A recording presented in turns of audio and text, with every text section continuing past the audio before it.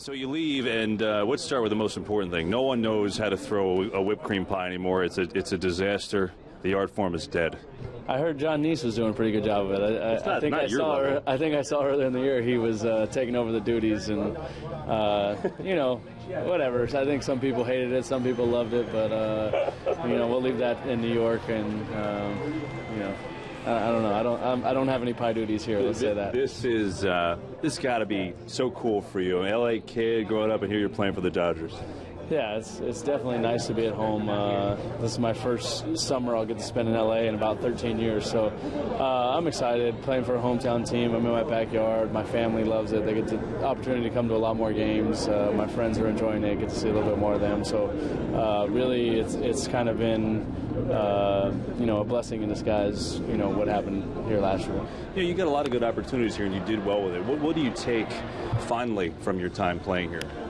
Oh man, I I have so many great friendships that I developed over the last three and a half years here. Uh, you know, this was one of the, the series on the schedule that as soon as I signed with the Dodgers, I looked for it. I circled on the calendar and uh, couldn't wait to get back out here and see the guys. I went and had dinner the other night with uh, with David and Niese and, and Dillon and Bobby. You know, just coming back and seeing everyone, it, it, it's really been, uh, I don't know, I, I guess uplifting, you know, from from the grind of the season, you know. You play with a lot of big personalities in this team. You got a big personality, but there are a lot of personalities in that room.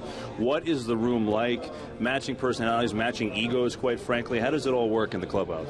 Well, I'll tell you what, there's never a dull moment in there. You know, if it's not one guy, it's the next. And the one thing about this team is they know how to have fun. Yeah. And uh, I mean, if, you- if you ever put the, the camera in the dugout during a game, you know, it's it's laid back in here. Guys are laughing. Guys are you know poking fun at each other, hitting guys in the back of the head.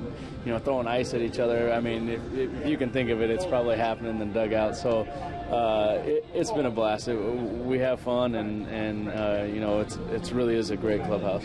Greinke going tonight, who has been utterly fantastic. What's it like playing behind him? Man, he.